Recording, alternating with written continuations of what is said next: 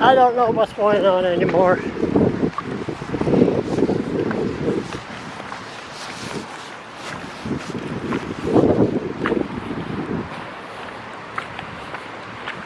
Yeah, TJ Bird. Yeah.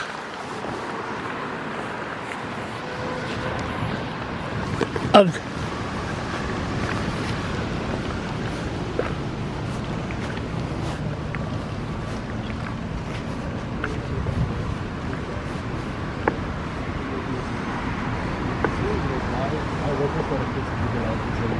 The facts.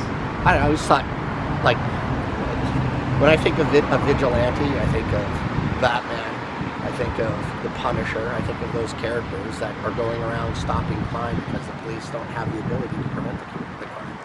And I just didn't think that that fit the facts in this particular scenario. What we heard today was that Mr. McGillicuddy believed that the victim was attempting to lure his daughter, who's 14 years old, um, in a particular area. And Mr. McGillicuddy believed, we heard it from his own mouth, that this individual has a history of attempting to lure children.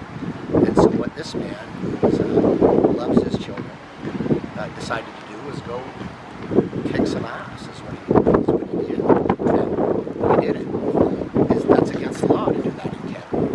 Uh, but morally, Mr. McGillicuddy felt he was the one who did it while I, you know, I don't personally agree that it's the right thing to do because as a lawyer, we have to ensure that our clients are not breaking the law. And when they do break the law, we do the best we can to protect them.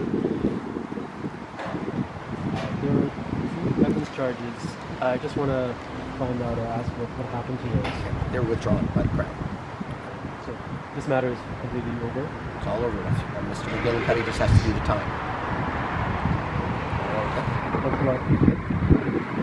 Um, thank you. Yeah, no problem. And I think I think it was like. Diagi, I almost tripped on you, buddy. So it finally came in the open that I knew this about two months ago that the guy, did they, they come out in the open, the guy molested the, did they come out in the open that the guy that beat up the met head, the drug dealer, tried to lure his daughter? Did it come out in the open? Well, uh, nothing that they proved. Oh, did, but did, that's, make, did, make a statement to that? met- okay, so that's what, so anyway, stay tuned. How are you?